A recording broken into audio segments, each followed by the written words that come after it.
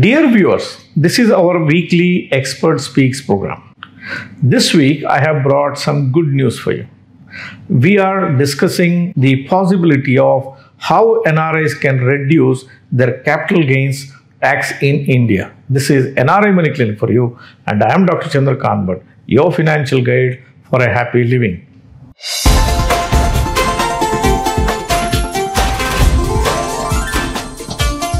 NRI Money Clinic. No hype, just the right advice.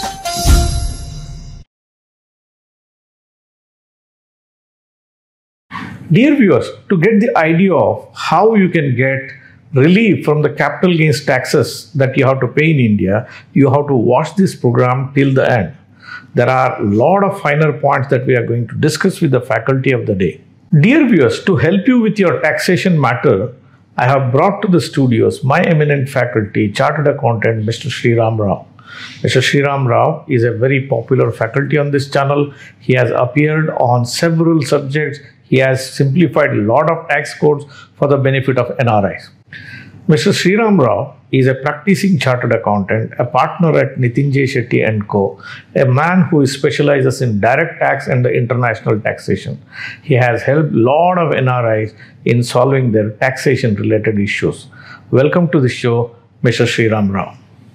Thank you. Uh, Mr. Sriram, I have chosen the topic How can NRIs reduce their tax burden with respect to capital gains tax? Before we start, can ask you a few of the basic questions so that the audience can understand what capital gains is, how it gets computed, or which can be categorized as capital gains? Yeah. Let's spend some time on that. Yeah. Then we'll move to the main topic of the day how NRIs can reduce their tax burden with respect to the capital gains. Definitely. My first question to you is how the capital gains will be taxed in India for non-resident Indians. Okay. Now, when somebody says capital gains taxation, it is part of income tax only. So now this capital gains is taxed at specific rates, etc., as per Indian tax law, and as per the Indian tax laws, on transfer of any capital asset, the income earned therefrom will be tax liable for capital gain taxes. Hmm. herein if one need to check what is transfer it is like if you sell if you redeem if you relinquish any rights or if you extinguish any rights in any or say if there is a compulsory acquisition etc so all these are considered as transfer. Further if one need to check what is the definition of capital asset it will be including all kinds of property especially the properties which are like immovable properties. And in respect of movable properties any property which is not a stock in trade and a- and a personal effect but it will always include certain properties such as shares and uh, securities mutual fund units unit linked in- insurance policies which has been recently added therein ULIPs. ULIPs. Of course, there are certain conditions. Yeah. Apart from that, uh, jewelries, drawings, paintings, work of art, archaeological collections, sculptures, all these are considered as capital asset. So, Okay. on transfer of any of this, if there is a sale, etc., or even exchange of that, will uh, trigger capital gain taxes. Okay. Mr. Sriram, NRIs use their NRE accounts and NRO accounts to invest in India. Correct. There is a general feeling in the minds of NRIs that they invest any money from NRE account and whether it's an income or a capital gains, both are tax free. How true is this assumption and can they rely on paying only from NRE to get that tax relief? No, the assumption is totally not true at all. So, any funds which are infused directly from outside of India or which are directly, you know, invested from their NRE accounts or NRO accounts, whatever it may be, if it is invested in a asset or an uh, property and on sale of that particular property, definitely the capital gains will be taxable in India. The concept is simple. Maybe funds have been infused from outside of India, but the income is generated out of that particular investment hmm. is in India. So definitely the capital gains will always be taxable in India as per uh, Indian domestic tax laws. So whether they invest from an NRO account or a resident uh, uh, Indian invest from his resident account or NRE account, if it is a capital gains, it is liable to be paid tax as per the whatever the tax Yes. codes that Yes. are applicable there. Yes, the rules are one and the same. Right. What is the status with respect to people making profits using the future and options, trading, uh, whether that's also a capital gains? No. Future and options will never be a capital gain. Future and options, if it is dealt in a recognized stock exchange, it will be considered as a normal business income. If it is dealt in a other than any recognized stock exchange, uh, other stock exchange, that will be considered as a speculative income. So intradays will always be spe- speculative income as per uh, tax law. So it will never be a capital gain. Okay. These days, uh, everybody is talking about cryptos. It is the fashion of the day. Correct. Recently, government has put a draconian taxation clause on that. Let's not get into the debate of Yes. whether that's too much, too less. My first question is, if somebody makes some profits out of the cryptos, is it a capital gains? No, it will not be considered as a capital gain because it is separately brought into law or statute. What we can say is as a virtual digital asset, and it is out of the computation mechanism of capital gains. It is separately a separate section is there wherein a specific rate of tax is given. So there is no linkage of this particular definition of virtual digital asset, crypto or NFTs, etc., with the capital gains.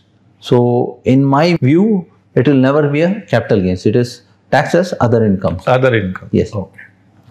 Uh, Mr. Sriram, you just now said that any investment which comes from NRE account, if it is a capital gains, so there is no relief. It is not an income. It's not an NRE FD interest which has been given an exemption, right? Correct. Any taxpayer will look forward to ways and means how he can minimize his taxation, how he can bypass the taxation in a legally correct way. Correct. Is there any provisions in the law books or the tax codes which gives any chance for the NRIs to reduce their uh, tax burden with respect to capital gains? Uh, what does your practice say? What does your research is saying in this? As per Indian domestic laws, I have explained already. Any asset, whether it's held by a resident, a non-resident, PIO, OCI, foreign national, whoever it may be, if it is appreciating in its value and you are transferring it, of course, the capital gains will be always taxable in India. And uh, invariably, for a non-resident or a PIO or a OCI or a foreign national who are non-resident in India, there is a benefit what they can claim out of double taxation avoidance agreement. The double taxation avoidance agreement normally it will uh, for the purpose of capital gains it provides uh, provisions under Article 13 or Article 14 sometimes. Hmm.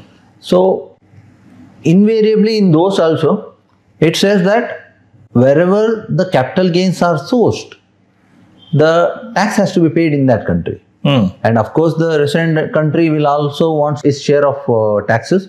So, in resident country also you have to pay tax, and whatever taxes you paid, you can claim as foreign tax credit. So, in the country of residence. Hmm. However, if you go into certain DTAs in particular, the Article 13 of it, for some of the assets, it gives certain benefits. Hmm. Okay, so let us try and get into the deeper and finer points of uh, this uh, double taxation avoidance agreement, especially with uh, countries with which India has double taxation avoidance agreement, and normally India has, I mean, Indian expats relate there, so normally or live there. So only those countries I will concentrate upon, Okay. and I will explain the provisions. If you consider the Middle East and Yes. the US, I think uh, two third of the NRI population gets covered. I think looks like. Probably, I will. I will try to, you know, Yeah. uh, I will definitely. I will include Middle East, US, etc. But of course, but here the finer point is, if you are a non-resident in India, you must be a resident in some other country. Hmm. So thereby, you are not a stateless person for tax purposes for that particular year. That's it. So you should be a tax resident in one or the other country. one of the other country. So if that is there, if you are a resident of say UAE and you are a non-resident in India, you are earning capital gains in India, then there is a double taxation avoidance between India and UAE, which can come into picture. Right. You can avail the provisions. Right. So, how to avail? I will just explain uh, one by one. So, if one goes through certain provisions of double taxation avoidance between India and countries like UAE, Qatar, Kuwait, Oman, and Saudi Arabia, which are Gulf countries, and uh, France, Germany, Netherlands, Austria, Italy, Hungary, Sweden, Switzerland. These are European countries. South Africa and uh, Sri Lanka, Japan, Mauritius, Malaysia, and Singapore, like African and uh, Asian countries. So all these uh, double taxation avoidance agreement, and there might be many more. I have included only few. So all these double taxation avoidance agreement invariably has the following provisions. Hmm. The following provisions I will explain properly. Okay. Please understand because it is very important. Otherwise, one will miss out. All these uh, countries wherein double taxation avoidance agreement I have explained, they say that the immovable properties or any movable properties held in a business in India Hmm. or any shares held in a Indian company or shares held in a company outside of India, shares held in a company outside of India, but that company which is outside of India having many immovable properties in India Hmm. and it derives its value, uh, company share value is derived from this immovable properties which is situated in India. So, in all these circumstances, the income of capital gains will be taxable in the country of source, Which is India. which is India. Right. So, So it will get taxed in yes, India. Yes, invariably it will get taxed in India. Right. Any asset other than these four, what I have already mentioned, if it is held in India, say for example, it can be mutual fund units or jewelry, archaeological collections or drawings, paintings, sculptures, so on and so forth, which I have already explained. So unless they are categorized in the first four, Yes, what you said. unless they are categorized in first four. Right. Any other assets held by you Hmm. in India, Hmm. and if you earn capital gains therefrom, Hmm. That will not be taxable in India. It will be taxable only in the country where you are a resident for that particular year. Hmm. Okay. Okay. So I will explain once again the four assets which I have told: immovable properties, movable properties held in a business, or a Indian company shares held, or a share of a company which is held outside of India, which is having its value of shares substantially from an immovable property held in India. Apart from these four assets, any asset which is held in India, which, which has earned you capital gains during that period, Hmm. that will be exempt from taxation in India Hmm. because the double taxation avoidance agreement provides that these incomes of capital gains will be taxable only in the country where you are a resident. Right. Right. So you must be a resident in some other country. Okay. Uh, dear viewers, let's look at like this now. If you have a capital gains, then you have to first look at where the capital gains has come from. Correct. If it is the four heads of accounts which Mr. Sriram referred, if the capital gains has come from that, then it becomes taxable in India as per the DTAA provision. Yes. If the capital gains is coming from any other heading other than these four, then for the specified countries what he mentioned, most of the countries in Middle East and the list of countries which he spoke just now, then the capital gains cannot be paid in India or it is exempted to be cannot be charged in India. Yes. Rather, it has to be charged in the country where you live as per the tax code of that particular country. Correct. Of course. Right? Yes. That's absolutely. what my understanding is correct. Absolutely correct. Now here there are certain final points which I have to explain. Okay. Now out of uh, Gulf countries name which I have taken, I think Bahrain is a country which I have left out. But unfortunately, India doesn't have a comprehensive uh, double taxation avoidance agreement with the Bahrain. Oh, interesting. Yes, that is why you will not get this exemption if you are a resident of Bahrain. Okay. Okay. And uh, apart from this, the India has got a double taxation avoidance agreement with USA, Canada, UK, Australia, China, Hong Kong, it has with most of the countries Yes, across yes. the world. It it's, is, it is having, It's really strange that Bahrain doesn't have a comprehensive DTA.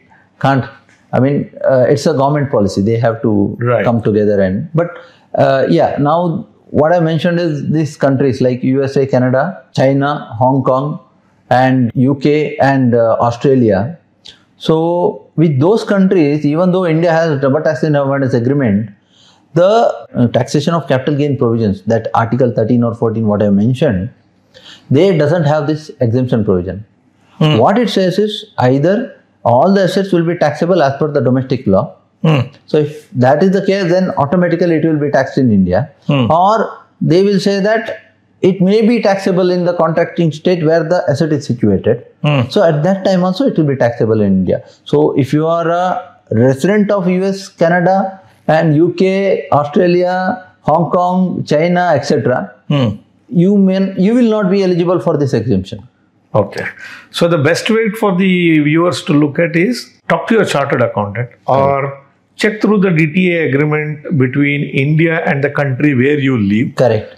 Go to section 13, 14 of that Yes. particular clause. Correct. Try to understand yourself what it has been mentioned. If you cannot understand, take the help of the chartered accountant. Correct, of course. But nevertheless, a lot of NRIs live in the countries which uh, Mr. Sriram has mentioned. That means this benefit will not go only for few.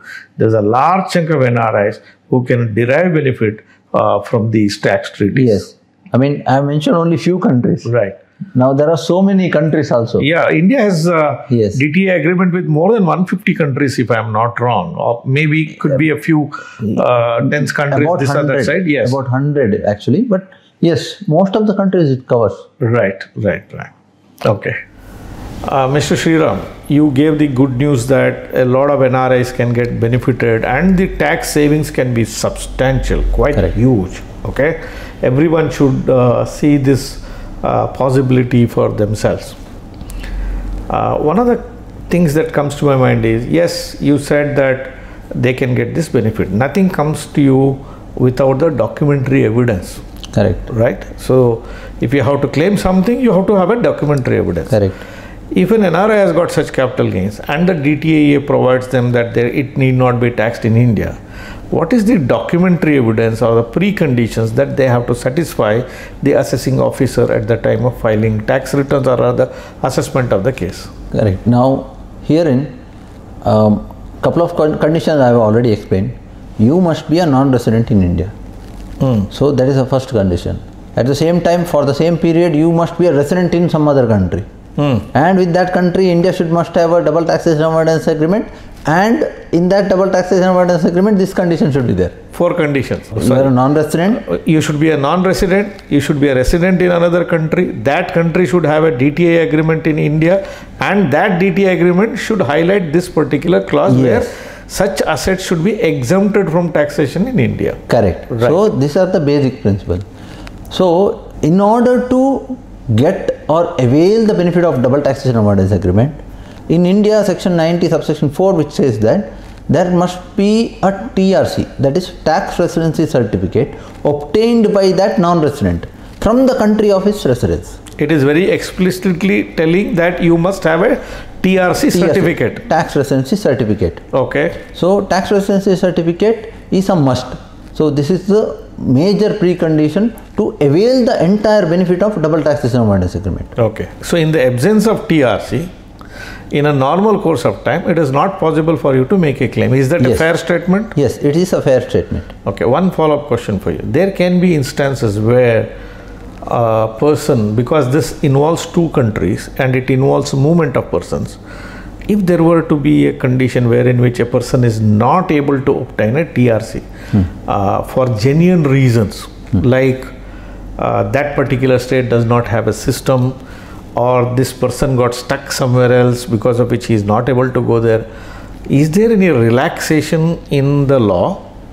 or are there any uh, the prior examples of the exemptions have been given in eh, without a TRC? Yes, um, it's a it should be like something like a, a condition of impossibility of performance from the either from the point of view of that particular individual hmm. or say as you explained from the point of view of that particular government which doesn't have the system of providing TRC. Hmm. But that has to be substantiated with the documentary evidence before the appellate authorities or the assessing authorities. Hmm. They, if they are satisfied, they will provide the relaxation of not obtaining a TRC and uh, then availing the DTA provisions. So there are a couple of in- instances where the tribunals in India have provided this leeway from for that particular individual or a particular assessee for not obtaining a TRC. Still, they allowed them, him to avail the benefit of double taxation avoidance agreement. But these are mostly exceptions. Yes, and it is litigious. Litigious means it is prone to litigation. You have to face the authorities, you have to fight with them, uh, say you have to file an appeal, etc. And then might be you might get the benefit.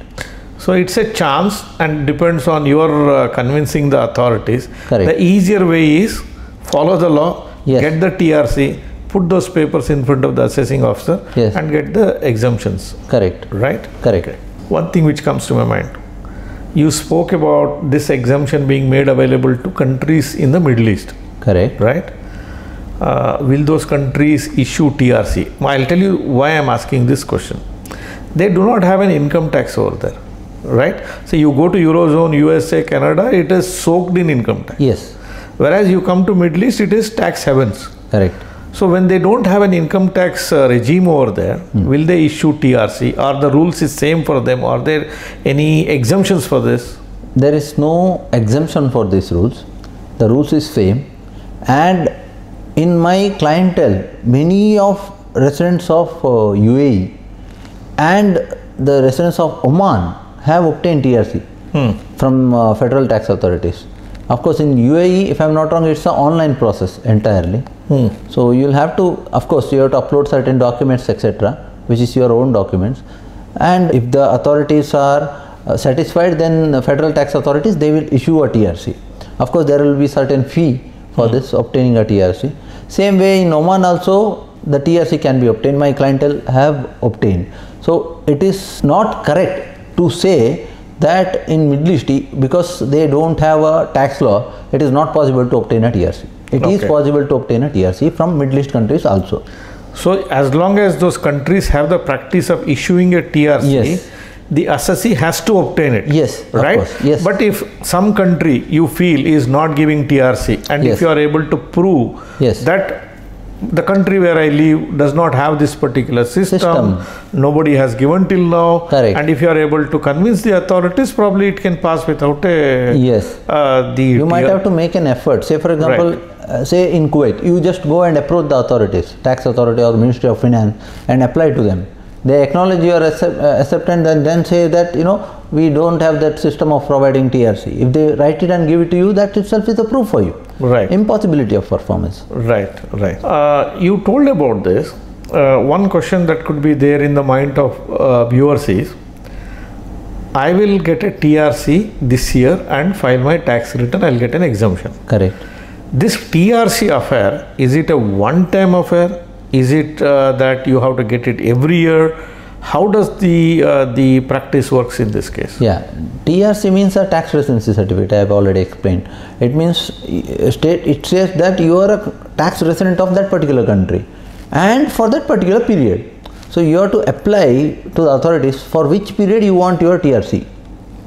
So for that period, they will look into your records and uh, they will satisfy themselves whether you are a tax resident of this of that particular country. If you are tax resident, then they will issue TRC, and it is valid only for that particular period. Every year, you might have to reapply and obtain if you have to obtain that TRC. So it is just like it's a it has a validity period. Yes. So you have lived in this particular country from such and such a Correct. period or the financial year what it uh, represents in Ah. that particular country it is valid only for that. Only for that. So every new year Hmm. where you have to apply you have to apply freshly and get it collect it and keep it. Yes. Probably if you don't have any capital gains uh, exemption to be claimed in that particular year uh, you need not apply for a TRC and keep Yes. it in your uh, uh, files. yes. But if there is a capital gains tax and you have to claim an exemption at that point of time, you have to obtain TRC for that particular year. I, I hope that suffice to say that. Um, add on to it, I can I can say that you know to claim the entire benefit of DTA, So it may not be capital gains also. If it might be some interest income, dividend income, which I've already explained in one of the videos earlier. Right. To claim reduced rate of taxes as per double taxation avoidance agreement, it is a must for you to obtain a TRC. Okay. So you obtain one TRC, it can be applied to all if you have all these incomes. Right. So like that. Right. Mr. Sriram, I will put across one situation that could be there. See, for example, I'll tell you some NRI lives in uh, UAE. Okay. Okay. He has a capital gains tax Okay. incidence in India. Let's let's take the case of mutual fund. Okay. And the capital gains tax is ten thousand rupees. Okay. Right. To claim an exemption, he has to get a TRC. Correct. And to claiming the TRC, let's assume the cost is more than 10,000. Let's say it is 25,000, Yeah. 50,000, whatever it is. I understand. Now, is it mandatory for that investor to claim an exemption because it is mentioned in DTAA or he can just think, okay, I'll pay 10,000 tax here to get a refund of that I have to spend much bigger amount there. Correct. I just don't care. I'll better pay taxes in India and he can just sit there Yes. or he's obliged to take a TRC. Availing the benefit of double taxation avoidance agreement is an option. Option. It is section 90 subsection 2 is clear. Right. If it is beneficial, you uh, obtain that. Right. Otherwise, if the domestic law is beneficial, that you obtain. Right. Whichever is beneficial to your fact and circumstances, you obtain. Right. So, uh, if your uh, cost of uh, getting a TRC is more than uh, the benefit what you are going to gain, then uh, no point in make sense. Yes. Uh, whereas it it might be a case of other uh, way around. Say you you have two different type of uh, streams of income where uh, one is a loss. Say for example, capital gain is a loss. Okay, you don't want to apply the uh, uh, double taxation avoidance agreement provisions because this loss is there, but another income is there. You want to offset it. So if you apply the double taxation avoidance agreement, since the income is not taxable, loss also cannot be offset. Right. Right. So if you don't apply, this loss can be offset. So at the same time, same year for some other income, you may apply TRC Right. and uh, double taxation avoidance agreement provisions. right. It is totally optional. It is co-income. The decision to apply uh, relief under DTAA or Yes. not is purely at the discretion of assessee. The, yeah, the assessee. Of course, they have to uh, some due diligence is there. Uh, they have, might have to take some uh, professional help, but uh, yes, it is optional. Right. Uh, Mr. Sriram, thank you very much for this awesome piece of research, which will probably give relief to so many NRIs living in these particular countries. Uh, big thank you from the bottom of my heart on behalf of my viewers and on behalf of my channel.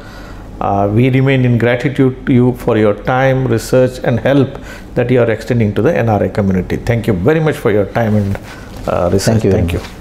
Dear viewers, hope the video that we have done today helped you to understand how you can save taxes using the double taxation avoidance agreements between different countries. Please like this video if you are a person who is watching my channel for the first time or if you are yet to subscribe for the channel, please hit the subscribe button and press the bell icon. Don't forget to share these videos with your near and dear ones. Thank you very much for watching this episode on NRI Money Clinic. I shall be back with you with yet another topic, with yet another expert very, very soon. Press the bell icon for more details and subscribe our channel.